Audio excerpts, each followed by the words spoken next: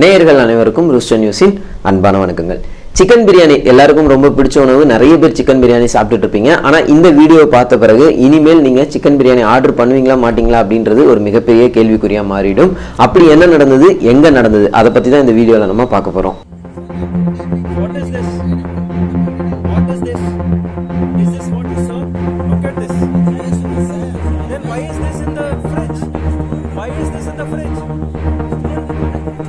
Why is this in the fridge?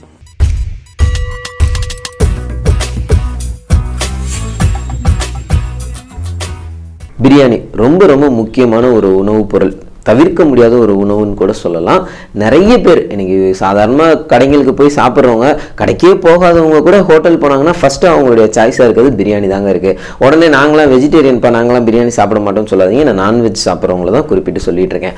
அதிலும் குறிப்பாக சென்னை போன்ற நகரங்களில் சின்ன வயசுலேருந்தே குழந்தைங்க வளரும் போதே அதிக அளவு சாப்பிட பயன்படுத்தக்கூடிய ஒரு முக்கியமான பொருள் சிக்கன் அந்த சிக்கனில் ஏகப்பட்ட வெரைட்டி செய்கிறாங்க எல்லாரும் அதை விரும்பி சாப்பிட்டுட்டு தான் இருக்காங்க. சிக்கன் பிரியாணி அதிகமான மக்களால் விரும்பப்பட்டு சாப்பிடப்படக்கூடிய ஒரு முக்கியமான உணவுப் பொருள். அந்த சிக்கன் பிரியாணிலையும் நாங்கள் ஆம்பூர் ஸ்டைலில் பண்ணுறோம் நாங்கள் வந்து ஹைதராபாதி ஸ்டைலில் பண்ணுறோம் இது நம்ம ஊர் பிரியாணி நாங்கள் சீரக சம்பா அரிசி பயன்படுத்துகிறோம் நாங்கள் வந்து பாஸ்மதி ரைஸ் போடுறோம். பிரியாணினாலே ரைஸ் நீளமாக தான் இருக்கணும். இல்லை இல்லை பிரியாணி அது வந்து சோறு தனியாக குழம்பு தனியாக வேக வைக்கிறீங்க. பிரியாணினா எல்லாமே சேர்ந்து வெந்தால் தான் பிரியாணின்னு அதுக்கு தனியாக ஒரு கடை. இப்படி ஏகப்பட்ட வெரைட்டி சொல்லிக்கிட்டே போகலாங்க இன்னும் சொல்லப்போனால் புதுசாக யாராவது இட்லி கொப்பரையில் பிரியாணி வேக வைக்கிறாங்க இல்லை புட்டை வைக்கிற சட்டியில் வந்து பிரியாணி வேக வைக்கிறாங்கன்னு தெரிஞ்சதுன்னா அதுவும் ரெண்டு நாளில் ஃபேமஸ் ஆகிடும் அந்த அளவுக்கு பிரியாணிக்கு மவுஸ் இருக்குது இப்படியே ஏகப்பட்ட விஷயங்கள் இந்த பிரியாணியை பற்றி சொல்லிக்கிட்டே போகலாம் நம்ம இப்போ கண்டென்ட்டுக்கு வந்துடுவோம் அண்ணா நகர் சாந்தி காலனி பக்கத்தில் இருக்கக்கூடிய ரமாஸ் த ஹைதராபாதி அப்படின்ற ஒரு கடையில் ஹைதராபாதி பிரியாணி வந்து விற்கிறாங்க கொஞ்சம் ஃபேமஸான கடைன்னு கூட சொல்கிறாங்க எல்லாருமே. நிறைய பேர் அங்கே போய் சாப்பிட்டுட்டு தான் இருக்காங்க. அங்கே ஒரு பிரியாணி வாங்குனீங்கன்னா இரநூறுவா ப்ளஸ் டேக்ஸ் வரும். சமீபத்தில் நமக்கு தெரிந்த ஒரு நபர் வந்து அங்கே போய் சாப்பிட்லாம் அப்படின்னு போயிருக்காரு. அங்கே போய் பிரியாணி ஆர்டர் பண்ணோன்னே அவங்க பிரியாணி கொடுத்துருக்காங்க. ஆரம்ப காலத்தில் நூற்றி அறுபது ரூபா இருந்த சமயத்துலலாம் அந்த கடையில் ரெண்டு சிக்கன் பீஸ் கொடுத்துட்டு இருந்தாங்களாம். ஆனால் இப்போ இரநூறுவா வந்துருச்சு ப்ளஸ் டேக்ஸும் வந்துருச்சு. சிக்கன் பீஸ் பார்த்தீங்கன்னா ரொம்பவே சின்னதாக ஒரே ஒரு பீஸ் தான் வந்திருக்கு. ரொம்பவே வருத்தப்பட்டிருக்காரு. என்னப்பா அது? இவ்வளோ காசு வாங்கிட்டு இவ்வளோ கம்மியாக கொடுத்துருக்காங்களே அப்படின்னு சொல்லிட்டு ஒரு மாதிரி யோசிச்சுக்கிட்டே சரி எனக்கு பிரியாணியே வேணான்னு டென்ஷன் ஆகி கிளம்பிட்டாரு. கிளம்புறதுக்கு முன்னாடி ஒரு சந்தேகம். சிக்கன் வந்து அவருக்கு ஏதோ ஒரு மாதிரி டவுட்டாக இருந்திருக்கு. என்ன ஒரு மாதிரி இருக்கேன் நம்ம செக் பண்ணிடுவோம் அப்படின்னு சொல்லிட்டு தன்னோட மொபைல் ஃபோனில் வீடியோ ரெக்கார்ட் ஆன் பண்ணிவிட்டு நேராக கிச்சனுக்குள்ளே போகிறாரு ஆரம்பத்தில் அங்கே இருக்கிறவங்க கொஞ்சம் தடுக்க முயற்சி பண்ணுறாங்க ஆனால் நான் ஒரு கஸ்டமர் எனக்கு உங்கள் கிச்சனை பார்க்கறதுக்கான எல்லா ரைட்ஸும் இருக்குது அப்படின்னு சொல்லிட்டு உள்ளவே போயிடுறாரு. வரிசையாக போய் செக் பண்ணிட்டு இருக்கும்போது இந்த சிக்கன்லாம் சேர்த்து வச்சுருப்பாங்க இல்லையா? ஒரு ஃப்ரிட்ஜ் மாதிரியான ஒரு அமைப்பு. ஏன் ஃப்ரிட்ஜ் மாதிரி அப்படின்னு சொல்கிறேன்னா ஃப்ரிட்ஜ் வந்து நார்மலாக ஹைட்டாக இருக்கும். நம்ம கூல் ட்ரிங்க்ஸ்லாம் ஃப்ரிட்ஜ் மாதிரி இருக்காது. அங்கே பார்த்தீங்கன்னா இந்த ஐஸ்கிரீம் பார்லர்லாம் ஐஸ்கிரீம் வச்சுருப்பாங்க. பெரிய டப்பு மாதிரி இருக்கும். அதில் தான் நிறைய கடைகளில் சிக்கன் வச்சுக்கிட்டு இருக்காங்க. ஏன்ப்பா இவ்வளோ பெருசு யூஸ் பண்ணோம்? அன்னன்னைக்கு வாங்கி யூஸ் பண்ணால் இவ்வளோ பெரிய இதுவே தேவையில்லைன்னு நீங்கள் நினைக்கலாம். அன்னன்னைக்கு எந்த கடையிலையும் வாங்கி யூஸ் பண்ணுறது இல்லைங்க. அட்லீஸ்ட் ஒரு நாலு நாளைக்கு ஒரு தடவை இல்லை மூணு நாளைக்கு ஒரு தடவை. இன்னும் ஒரு சில கடைகளில் பதினஞ்சு நாளுக்கு மேலே கூட ஸ்டாக்லாம் இருக்குது இது வந்து அதிகாரப்பூர்வமாக வெளிவராத உண்மையான தகவல். அப்படியே அந்த ஃப்ரீசரை ஓப்பன் பண்ணி பார்த்தோன்னா உள்ள நிறைய வாளிங்க இருக்குது அந்த வாளியில் ஒவ்வொரு வாளிலையும் சிக்கன் தனித்தனியாக இருக்குது ஒவ்வொரு இதுலேயும் ஒவ்வொரு நாள் வந்த சிக்கனாக இருக்கும் போல். ஆனால் ஒரே ஒரு வாளியில் மட்டும் பார்த்தீங்கன்னா சிக்கன் ரொம்பவே மோசமான ஒரு சூழ்நிலையில் கெட்டு போய் அழுகி போன மாதிரி ஒரு சுச்சுவேஷனில் இருக்குங்க. அதை எடுத்துகிட்டு இது என்னப்பா இப்படி இருக்குது இதை தான் நீங்கள் எல்லாத்துக்கும் கொடுத்துட்டு இருக்கீங்களான்னு கேட்கும்போது இல்லை சார் இது நாங்கள் வந்து சமைக்கிறதுக்கெல்லாம் பயன்படுத்த மாட்டோம். நாங்கள் கணக்கு காமிக்கிறதுக்காக அதை தூக்கி போட முடியாமல் வச்சுருக்கோம். அப்படின்ற மாதிரி அங்கே இருக்கக்கூடிய வேலை செய்யக்கூடிய நபர்கள்லாம் சமாளிக்கிறாங்க. இந்த மாதிரி இந்த ஹோட்டல் மட்டும்தானா அப்படின்னு கேட்டால் கிடையவே கிடையாது. வெளிவராமல் ஏகப்பட்ட ஹோட்டலில் இந்த மாதிரி நடந்துட்டு தான் இருக்குது ஹோட்டலில் வெளியில் பார்த்தீங்கன்னா அப்படியே ஹைஜீனிக்காக சூப்பராக மெயின்டைன் பண்ணியிருப்பாங்க ரொம்ப அழகாக இருக்கும். ரூம் ஸ்ப்ரேலாம் போட்டு ஏசிலாம் போட்டு பயங்கரமாக வச்சுருப்பாங்க.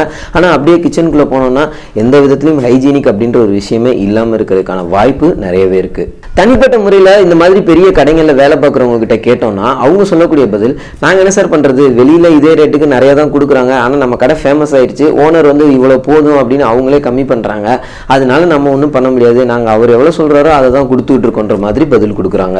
இது எல்லாத்தையும் தாண்டி சிக்கன் அப்படின்ற விஷயம் மனித உடலுக்கு நிறைய வகையில் கெடுதல் கொடுத்துட்டு தாங்க இருக்குது அது மறுக்க முடியாத உண்மை. இன்னும் சொல்ல போனால் சின்ன குழந்தைங்க சின்ன வயசுலேருந்து நிறைய சிக்கன் சாப்பிட்டுட்டே இருந்தாங்கன்னா அவங்களுடைய குழந்தைத்தன்மையை ரொம்பவே சீக்கிரமாக இழந்துருவாங்க அப்படின்றதும் மறுக்கப்பட முடியாத உண்மை. இது நீங்கள் அறிவியல் பூர்வமாக இல்லைனாலும் அனுபவபூர்வமாக நிறைய பேர் பார்த்துருக்கலாம். இன்றைய காலகட்டத்தில் சிக்கன் நிறைய சாப்பிட்டு வளரக்கூடிய பெண் குழந்தைகள் பத்து வயசு கூட முடிகிறதுக்குள்ள அவங்க ஏஜ் அட்டன் பண்ணிடுறாங்க. அதுக்கு மிக முக்கியமான காரணத்தில் ஒன்று இந்த சிக்கன் அப்படின்ற விஷயம்தான். அடப்பப்பா தம்பி பெரிய பெரிய டாக்டர் சொன்னப்பே நாங்களாம் கேட்கல. நீ சொல்றது தான் கேட்க போறோமான்னு. இந்த வீடியோ பார்த்துட்டு இருக்கும்போது ஒரு சிலர் சிக்கன் ரைஸ் ஆர்டர் பண்ணியிருப்பீங்க இல்லை சிக்கன் பிரியாணி ஆர்டர் பண்ணியிருப்பீங்க இல்லை சிக்கனில் ஏதாவது ஒரு ஐட்டத்தை ஆர்டர் பண்ணி வெயிட் பண்ணிட்டு இருப்பீங்க. சிக்கன் சாப்பிடவே கூடாது அப்படின்னு சொன்னோன்னா ரொம்பவே கஷ்டம். அட போடா அப்படின்னு சொல்லிட்டு நீங்கள் அடுத்த வேலையை சிக்கன் சாப்பிட ஆரம்பிச்சிருவீங்க. அதனால சிக்கன் சாப்பிடவே வேணாம்னு நாங்கள் சொல்லலை. ஓரளவுக்கு அந்த சிக்கன் வாங்குகிற முறை சமைக்கிற முறை சாப்பிடக்கூடிய முறைகளில் மட்டும் ஒரு சில விஷயங்களை கடைபிடிச்சிங்கன்னா அதனால் வரக்கூடிய தீங்கு அப்படின்றது கொஞ்சம் கம்மியாகிறதுக்கான வாய்ப்பு நிறையவே இருக்குது முதல் விஷயம் இன்றைக்கி சிக்கன் வாங்கிட்டு நாளைக்கு சமைக்காதீங்க. கொண்டு போய் ஃப்ரிட்ஜில் வச்சுக்கலாம் நாளைக்கு சமைச்சிக்கலாம். நம்ம நைட்டு போகும்போதே வாங்கிட்டு போயிடுவோம். காலையிலலாம் வந்து வாங்க முடியாதுன்னு நினைக்காதீங்க. தினம் எப்போ சமைக்க போகிறீங்களோ அப்போலேருந்து ஒரு அரை மணி நேரத்துக்கு முன்னாடியோ ஒரு மணி நேரத்துக்கு முன்னாடியோ மட்டும் போய் சிக்கனை வாங்குங்க. அப்படி வாங்கக்கூடிய சிக்கன் ஏற்கனவே அவங்க ரெடி பண்ணி ஃப்ரிட்ஜில் வச்சுருக்கதா இல்லாமல் உங்கள் கண்ணு முன்னாடி கோழியை கட் பண்ணி தராங்களா அப்படின்றதையும் செக் பண்ணுங்க. இன்னொரு முக்கியமான விஷயம் இன்னைக்கு காலையில சிக்கன் வாங்குறோம் சமைக்கிறோம் இன்னைக்கு மதியம் லஞ்சுக்கு வந்து சிக்கன் சாப்பிட்டு முடிச்சிட்டோம் அப்படின்னா அதோட அதை முடிச்சுக்கிட்டா கூட கொஞ்சம் நல்லதுங்க. அதையே நைட்டுக்கு சாப்பிட்றதையும் அப்படி இல்லைன்னா மீதம் இருக்கு இதை வேஸ்ட் பண்ணக்கூடாது தூக்கி போட்டுறக்கூடாதுன்னு வச்சிருந்து மறுநாள் சாப்பிட்றது தாங்க மிகப்பெரிய பிரச்சனை. சமீபத்தில் கூட ஒரு குழந்தை கூட இறந்து போயிருந்தது இதே மாதிரி. முத நாள் வச்ச பிரியாணியை மறுநாள் சூடு பண்ணி சாப்பிட்ட அந்த காரணத்துக்காக அந்த குழந்தைக்கு வந்து உடல்நிலை சரியில்லாமல் போய் இறந்து போயிருந்தது. இதெல்லாம் மனசில் வச்சுக்கோங்க. இனிமேல் சிக்கன் சாப்பிடணும்னு முடிவு பண்ணிங்கன்னா எந்த வேலை சாப்பிட போகிறீங்களோ அந்த ஒரு வேளைக்கு மட்டும் அந்த சிக்கனை சாப்பிடுங்க. வீட்டில் சமைச்சிருந்தீங்கன்னா தயவு செஞ்சு மீதம் இருந்தால் தூக்கி குப்பையில் கூட போட்டுருங்க. இல்லைன்னா எத்தனை பேர் சாப்பிட போகிறோம் எவ்வளவு சாப்பிடுவோம் அப்படின்றது உங்களுக்கு நல்லாவே தெரியும். அதுக்கேற்ற மாதிரி தேவையான அளவு மட்டும் வாங்கிட்டு வந்து சமைச்சு சாப்பிடுங்க. இப்படி பண்ணுறதுனால ஒரு பெரிய பிரச்சனையில இருந்து விடுபடலாம் அப்படின்றது எங்களுடைய தாழ்மையான வேண்டுகோள். இன்னும் ஹோட்டல்ஸில் போய் சாப்பிட்றவங்க அதுலேயும் குறிப்பாக சிக்கன் வெரைட்டிஸ் நிறையா சாப்பிட்றவங்க அந்த கடையில் இருக்க கிச்சன் மற்றும் ஃப்ரீசர்லாம் தாராளமாக போய் செக் பண்ணுங்கள் அதுக்கான உரிமை நம்மளுக்கு இருக்கு அப்படின்றதையும் இந்த இடத்துல தெளிவாக சொல்லிக்கிறோம். இந்த சிக்கன் அப்படின்ற ஒரு உணவுப் பொருள்னால ஏகப்பட்ட பிரச்சனைகள் வந்துட்டு இருந்தாலும் அது மிக முக்கியமான ஒரு உணவுப் பொருளாக மாறிடுச்சு. அதை தவிர்க்கவே முடியாது. அதனால உணவு பாதுகாப்புத்துறை அதிகாரிகள் சென்னை போன்ற பெரிய நகரங்களில் இருக்கக்கூடிய அனைத்து கடைகள்லையும் அது மிகப்பெரிய ஸ்டார் ஹோட்டலாக இருந்தாலும் சரி இல்லை ரோட்டு கடையாக இருந்தாலும் சரி அப்பைக்கப்ப சரியான ஒரு இடைவெளியில் தயவு செஞ்சு செக் பண்ணுங்க. அப்படி செக் பண்ணால் மட்டும்தான் ஹோட்டல் வச்சிருக்கவங்களாம் சரியான முறையில் நல்ல பொருட்களை மட்டும் வாங்கி உணவுக்கு சமையலுக்கு பயன்படுத்துவாங்க. இது எல்லாத்தையும் தாண்டி ஹோட்டல் நடத்தக்கூடியவங்களும் அந்த ஹோட்டலில் வேலை செய்யக்கூடிய மாஸ்டர்களும் தொழில் தர்மத்தோட நடந்துக்கிட்டாங்கன்னா கொஞ்சம் பிரச்சனையை தவிர்க்க முடியும். காசு வாங்கிட்டு தான் சாப்பாடு கொடுக்க போறாங்க. காசு வாங்காம கொடுக்க போறது இல்ல. வாங்குற காசுக்கு தகுதியான தரமான பொருட்களை பயன்படுத்தி தரமான உணவு அவங்களுக்கு கொடுத்தாங்கன்னா கண்டிப்பான முறையில். ஏன்னா அவங்க வாங்குற காசுக்கு என்ன கொடுக்க முடியுமோ அதை தான் கொடுக்க போறாங்க. நஷ்டத்துக்கு ஒன்றும் யாரும் சாப்பாடை கொடுத்துட போகிறதில்ல ஓசியாகவும் ஓசியாவும் யாரும் கொடுத்துட போகிறதில்ல அப்படி தரமான சிறப்பான சுவையான உணவை கொடுக்க ஆரம்பிச்சாங்கன்னா அந்த ஹோட்டலுடைய வளர்ச்சியை யாருனாலையும் தடுக்க முடியாதுன்னு சொல்லிட்டு வேறொரு வீடியோவில் உங்களை சந்திக்கும் வரை உங்களிடமிருந்து விடைபெறுவது த ரூஸ்ட் நியூஸ் டீம் இந்த மாதிரி உங்களுக்கு ஏதாவது ஹோட்டல்கள்லாம் அனுபவம் இருந்ததுன்னா அந்த அனுபவத்தை கமெண்ட்டில் பதிவு பண்ணுங்கள் இந்த வீடியோ உங்களுக்கு பிடிச்சிருந்தா லைக் பண்ணுங்க ஷேர் பண்ணுங்க. திருஸ் நியூஸ் சேனலை சப்ஸ்கிரைப் பண்ணுங்க. மறக்காமல் பெல் சிம்மில் பிரஸ் பண்ணுங்க. நன்றி வணக்கம்.